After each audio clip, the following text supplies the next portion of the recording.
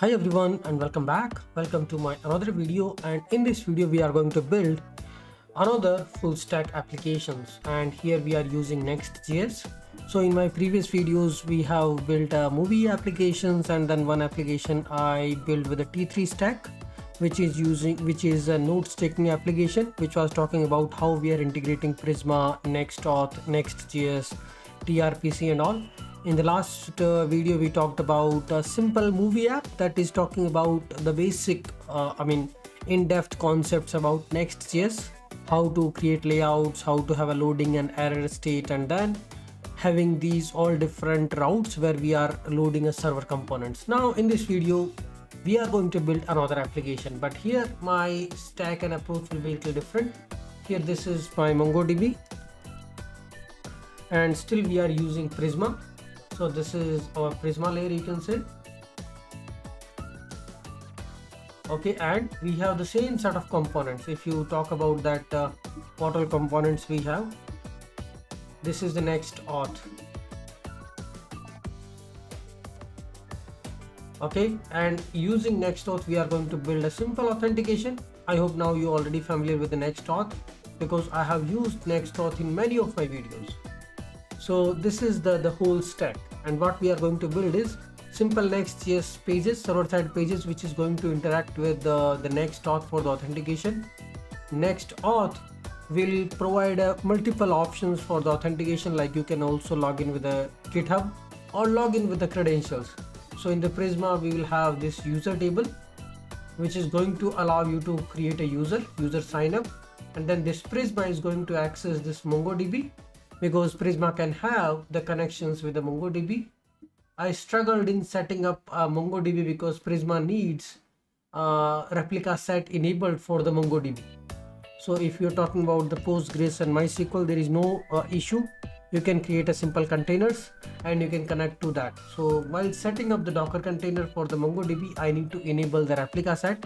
Then only this Prisma, trans Prisma will allow you to connect to the MongoDB because Prisma is using transactions internally and for that it is asking us to have our replica set enabled in the MongoDB Docker container. So that is a little tricky part. Otherwise in the MongoDB we are going to have these collections like user collections and all where a user blog post and all where using this Next.js APIs we are going to once you are authenticated. So what happens is once you are authenticated you should be able to access things right so let's say i'm authenticated. I have my session. Then you will just go if your session exists then it, it will allow you to access the api routes. And with the help of this api routes so i'm, I'm just talking about next uh, js api routes.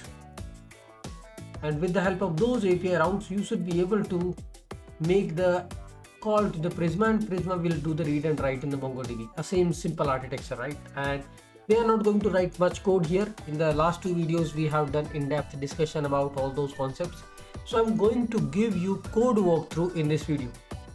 So let's do it together and let's try to understand how you can fix this mongodb connection in the prisma orm so you don't face the same challenge.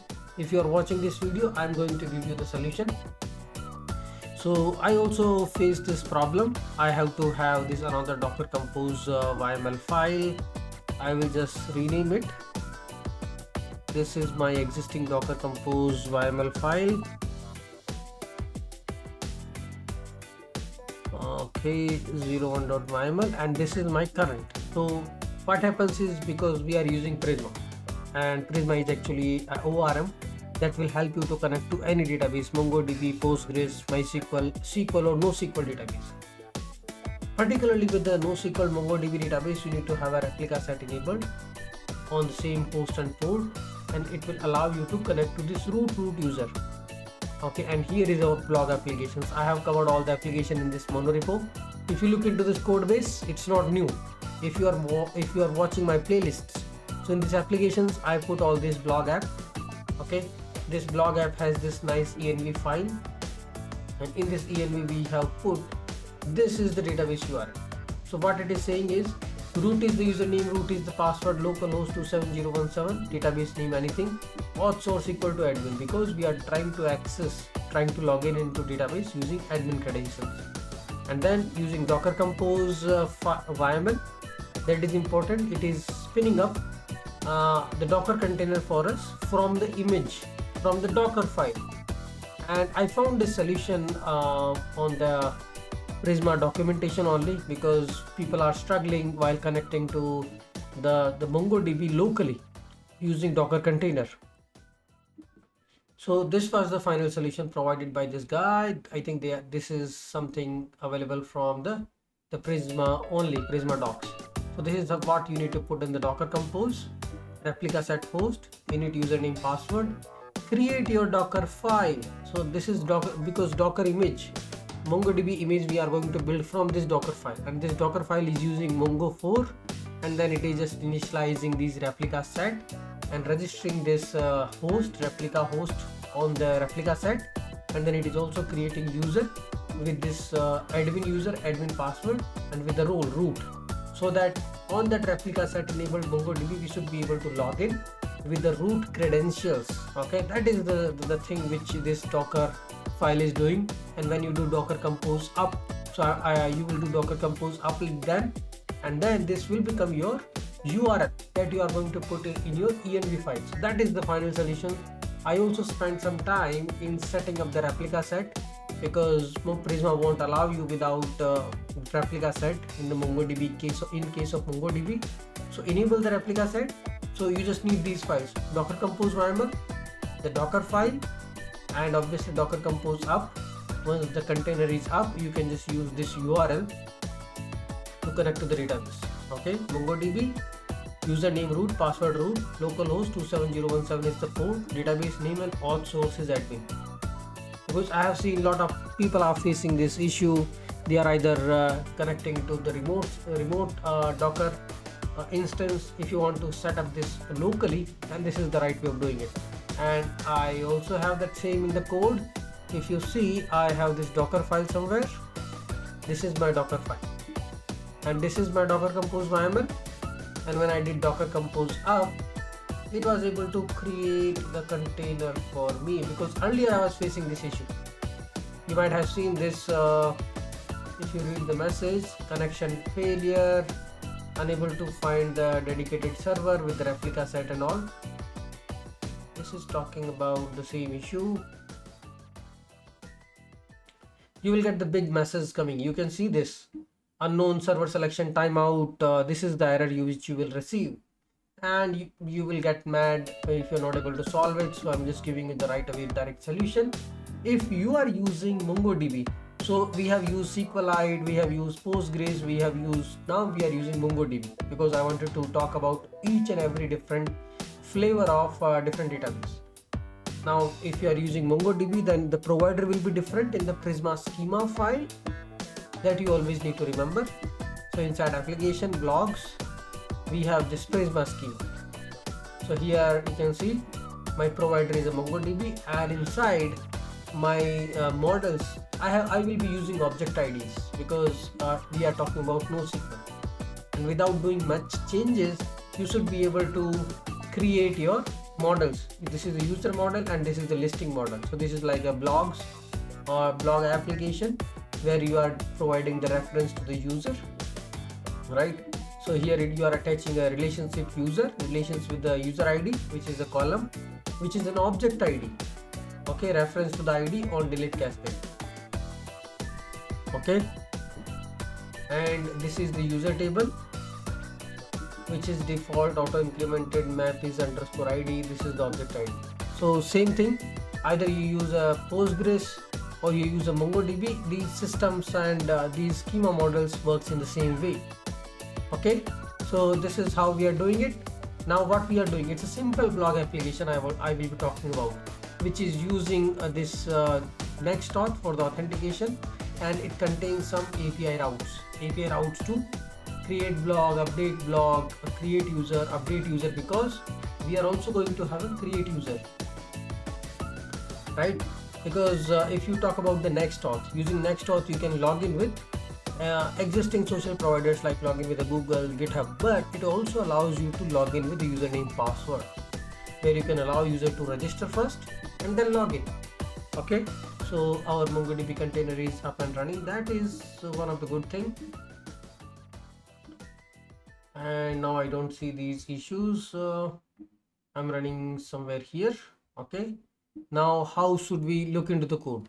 If you look in this is the next JS13 app and this is the prisma schema. You don't need to run the migrations and all because this is the NoSQL. Populate all the environment variables next dot secret next dot url all these things and then app directory. Here i'm going to talk about the apis first and next dot inside next auth you can see i have routes so here is my next auth options. We can see callback session. So still i'm using a jwt strategy. I'm not saving my session on the database. I'm still using this prisma adapter but my session is not being stored on the database. We are just generating the token using the using this jwt strategy and that token is being used as a cookies at the client side to manage the session this is the next auth secret and here is the providers you can also log in with the github or this is the credential provider. That means i'm using username password based authentication and it contains this authorize function which is doing same thing. Here we are just doing a find one unique uh, creating the hash password comparing with the hash password and if it is everything good return the user. Same thing with the, the register because register is another route where we are creating a hash password and creating the user in the database.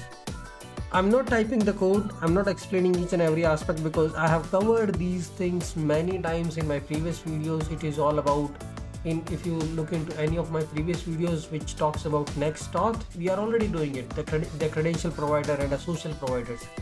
This is a simple next auth routes which covers almost everything. Okay, all the authentication options, providers, callbacks and all and here our uh, uh, additional APIs like blogs because I'm going to write blogs. So here you can see first of all we need to get the current user. And if you're creating a blog so you will get a name and descriptions from the body and then you will just create a listing and pass the user ID so here we are using Prisma right? Prisma is actually a ORM for the MongoDB and uh, we can say we are not maintaining any mongoose model and all which we used to do with the node.js prisma is making things simpler when you connect to any database sql or nosql. And similarly we are just doing prisma dot uh, model dot create. So it is providing a unified methods create. Create is same method we are using either you use uh, postgres mysql or mongodb. Right? So here we are creating a block similarly blog IDs here we are like updating deleting or uh, fetching that particular blog like based on the blog id which we are getting in params blog id so we got the current user we are checking if blog exists then return it. Updating the blog id with the new data. So we got the data using request.json here if the current user is not there just return the error. We got the blog id that should be of type string and here we are updating using simple prisma query. Update where id equal to blog id and data is this. So update uh, that particular record in the mongodb with this data where the id is blog id simple right? So similarly register and all. And then you can just create these pages. This is all about prisma db how we are creating a prisma db client. And we have some pages like login and register right? Here we have just a simple form username password and when you are submitting the form we are doing the same thing. Here we are using credential provider because you are passing username password. And on the callback if uh, everything is okay you will be we will just refresh the page and we will show the user session created. And we are just using this router and also like basic form which you can just write using html form and then add these handlers. And when you do a submit this is what we are doing on submit we are using credential provider. Sign in is coming from next auth redirect false because we are going to stay on the same page once you are logged in. Similarly register. Here we are doing on submit and we are hitting actually a next js api routes.